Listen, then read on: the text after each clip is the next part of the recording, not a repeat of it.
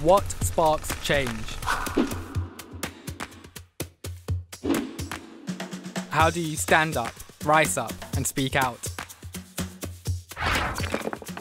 About inequality, oppression, and injustice.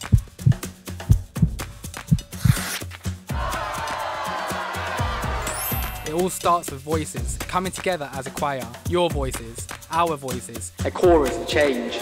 The Hackney Youth Parliament brings together determined, eager, frustrated young voices to tackle issues that matter in the local community. Racism, education, climate change,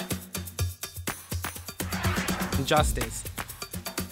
Voices that the children of Stoke Newington who gave up sugar to protest enslavement.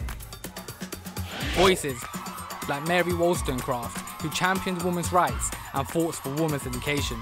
Hackney's voices are powerful and progressive, electing Diane Abbott, the country's first black female MP, and Philip Glanville, the country's first openly gay directly elected mayor.